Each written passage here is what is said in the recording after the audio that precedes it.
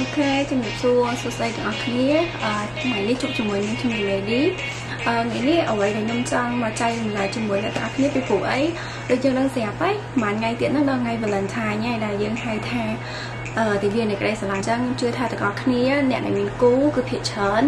ប្រកាសជាអឺ កំពុងតែគិតថាតើមិនគួរថាតើមិនដឹងថាតើគួរទិញកាដូអីទៅជូនមួយជាទីស្រឡាញ់របស់ខ្លួនឯងហើយចំពោះអ្នកដែល single វិញគាត់ក៏មានមិត្តភ័ក្តិមួយជាទីស្រឡាញ់គេគាត់ត្រូវទិញកាដូជូនដែរហើយអ្នកខ្លះក៏កំពុងតែគិតថាអត់ដឹងថាត្រូវទិញអីអ្នកខ្លះទៀតក៏កំពុងគិតថាអូយខ្ញុំបានអីទៅសម្រាប់ Valentine នឹងជាក់ស្ដែងខ្ញុំតើក៏ខ្ញុំកំពុងគិតដែរអូខេអញ្ចឹងតាក់ទងជាមួយនឹងការឲ្យកាដូតាក់ទងជាមួយនឹងការរើស កាដូទៅជូនមនុស្សជាទីស្រឡាញ់របស់យើងខ្ញុំជឿថាទាំងអស់គ្នាភាគច្រើនប្រកាសជាធ្លាប់បានឮគេនិយាយវត្ថុមួយចំនួនដែលគេថាមិនគួរទិញជូនមនុស្សជាទីស្រឡាញ់ទេពីព្រោះអីវាតំណាងឲ្យរឿងដែលមិនល្អអញ្ចឹងថ្ងៃនេះខ្ញុំនឹងប្រាប់អ្នកគ្នាណាថារបស់អីគេខ្លះដែលភាគច្រើនដែលយើងជឿថាយើងមិនគួរទិញជូនមនុស្សជាទីស្រឡាញ់របស់យើងទេពីព្រោះវាតំណាងឲ្យរឿងមិនល្អអូខេរឿងទី1ហ្នឹងគឺនាឡិកាខ្ញុំជឿថា 10នាក់គឺ5នាក់ឯងប្រកាសជាធ្លាប់បានឮថាហេតុអីដែលយើងមិនគួរទិញនាឡិកាជូនគូស្នេហ៍របស់យើងពីព្រោះអីគាត់និយាយថាអត់មាននាឡិកាណាដើររហូតទេវាគង់តែដល់ថ្ងៃអស់ថ្មអញ្ចឹងគឺវាមានន័យថាវាតំណាងឲ្យការបញ្ចប់នៃសេចក្តីស្រឡាញ់របស់ពួកគាត់ហ្នឹង OK អញ្ចឹងទាក់ទងមួយនាឡិកាហ្នឹងគាត់ជឿថាអញ្ចឹង OK ហើយរបស់ទី2ហ្នឹងគឺកសែងជូតដៃឬក៏កសែងអីហ្នឹងខ្ញុំអឺ អត់មានកសែងបង្ហាញទេក៏ប៉ុន្តែចង់និយាយថាអឺពួកយើងភាគច្រើនគាត់ថាកសែងហ្នឹងគឺតំណាងឲ្យការជូតទឹកភ្នែក OK ទី3គឺស្បែកជើងគាត់ថាស្បែកជើងគឺអត់គួរទិញឲ្យទេពីព្រោះអីវាតំណាងឲ្យការចាក់ចេញ កំណាងឲ្យថាការបែកបាក់គ្នាការដើរចេញអីអញ្ចឹងគ្រប់បែបយ៉ាងចឹងទៅអូខេអញ្ចឹងរបស់3យ៉ាងហ្នឹងភាគច្រើនគឺនៅថ្ងៃមុននៃក្រីស្រឡាញ់គឺពួកយើងអត់ត្រូវទិញយកទៅជូន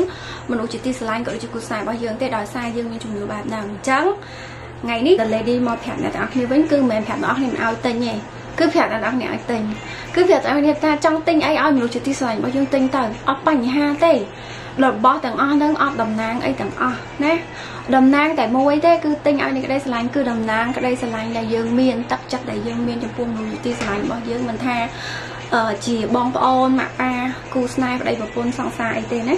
គឺតំណាងក្តីស្រឡាញ់គឺអត់មានតំណាងអីទាំងអស់ហើយថ្ងៃនេះខ្ញុំនឹងប្រាប់បងប្អូនថាហេតុអីបានយើងគួរតែទិញនាឡិកានិងទិញស្បែកជើងជូនមនុស្សដែលយើងស្រឡាញ់ OK OKអីដែលខ្ញុំចង់ជំរាបប្រាប់អ្នកទាំងអស់គ្នាថ្ងៃនេះគឺ ហេតុផលដែលយើងគួរតែទិញនាឡិកាជូនគូស្នេហ៍របស់យើងជាពិសេសគឺគូស្នេហ៍យើងជាមនុស្សផុសជាមនុស្សផុសណាហ្នឹងហើយនាឡិកាគឺជាគ្រឿងអលង្ការតែមួយមុខគត់ដែលមនុស្សប្រុសពាក់រាល់ថ្ងៃណាគឺជាគ្រឿងអលង្ការតែមួយមុខគត់ដែលគាត់ពាក់រាល់ថ្ងៃអញ្ចឹងថាយើងឲ្យកដោគេយើងមិនចង់ឲ្យគេប្រើរបស់យើងរាល់ថ្ងៃកាលណាដែលយើងឲ្យកដោគេយើងចង់ឲ្យគេនឹកឃើញយើងរាល់ថ្ងៃទេត្រូវទេអញ្ចឹង ខ្ញុំនិយាយពីគុណសម្បត្តិក្នុងការទិញនាឡិកាទៅឲ្យគូស្នេហ៍ជាពិសេសមនុស្សផងមនុស្សស្រីក៏ដោយអ្នកខ្លះគាត់ពាក់នាឡិកាដូចខ្ញុំអីគឺខ្ញុំពាក់នាឡិការាល់ថ្ងៃអញ្ចឹងដូចនេះនាឡិកានេះគឺបងទូនីទិញឲ្យខ្ញុំវាខូចហើយវាអស់ថ្មហើយតែស្នេហាពួកខ្ញុំអត់តបញ្ចប់អីអូខេអញ្ចឹងកុំជឿអីណាកុំជឿអីកុំជឿរឿងបែកបាក់គ្នាដោយសារនាឡិកាគុណសម្បត្តិនៃការទិញនាឡិកានេះគឺធ្វើឲ្យដៃគូរបស់យើងគាត់នឹកឃើញយើង គាត់នឹកឃើញយើងនៅពេលដែលគាត់មើលម៉ោងពេលណាគឺគាត់នឹកឃើញយើងហ្មងពេលដែលគាត់លើកដៃមើលម៉ោងអូនៃការហ្នឹងប្រពន្ធទិញឲ្យឬក៏នៃការហ្នឹងប្តីទិញឲ្យឬក៏នៃការហ្នឹងសង្សារខ្ញុំទិញឲ្យនៃការហ្នឹងមនុស្សជាទីស្រឡាញ់របស់ខ្ញុំទិញឲ្យខ្ញុំវាជួយឲ្យគាត់មើលម៉ោងជួនកាលទៅប្រជុំអីចឹងទូរស័ព្ទអស់ថ្មអីចឹងទៅបាននៃការនឹងឯងមើលម៉ោងមួយទៀត អត់ខកណាស់ទេហើយមកផ្ទះទៀងទាត់ព្រោះអីខ្ញុំថាបងអូនទិញនាការឲ្យបងឯងទូគាត់អាចមានលេខខាងទូរស័ព្ទអត់ថ្មតែអត់ចូលឬក៏មិនអាចអត់ដឹងម៉ោងអត់មានអីមើលម៉ោងអីអញ្ចឹងណាអូខេ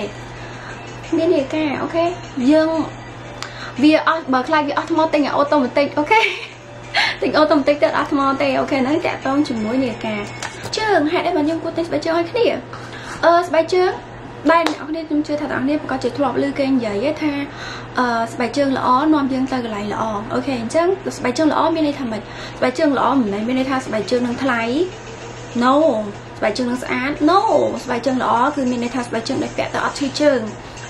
អត់និយាយទៅពាក់ទៅស្រួលហើយកាលណាតែស្បែកជើងពាក់ឈឺជើងពាក់ទៅស្រួលគាត់ចូលចិត្តពាក់គាត់ពាក់ធ្វើដំណើរទៅធ្វើការរកស៊ីអីគឺវាអត់មានផលប៉ះពាល់របស់គាត់ទេគឺវាជំរុញការងាររបស់គាត់នឹងឲ្យធ្វើការបានរលូនមែនតើអញ្ចឹង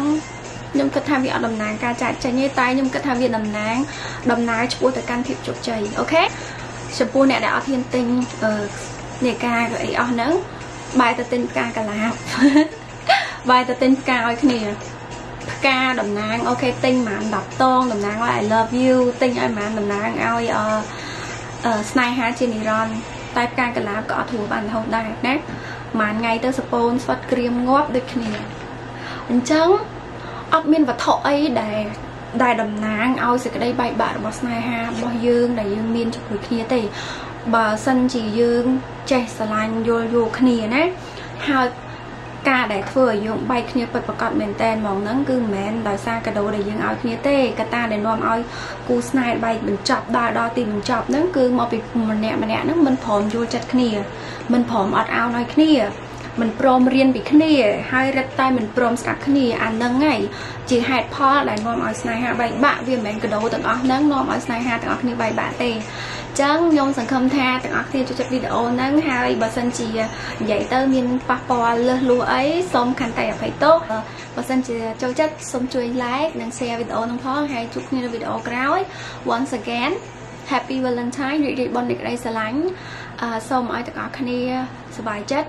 ថ្ងៃ Valentine រីទាំងអស់គ្នាមិនថាអ្នកមានគូឬក៏អ្នក single ទេអូខេ bye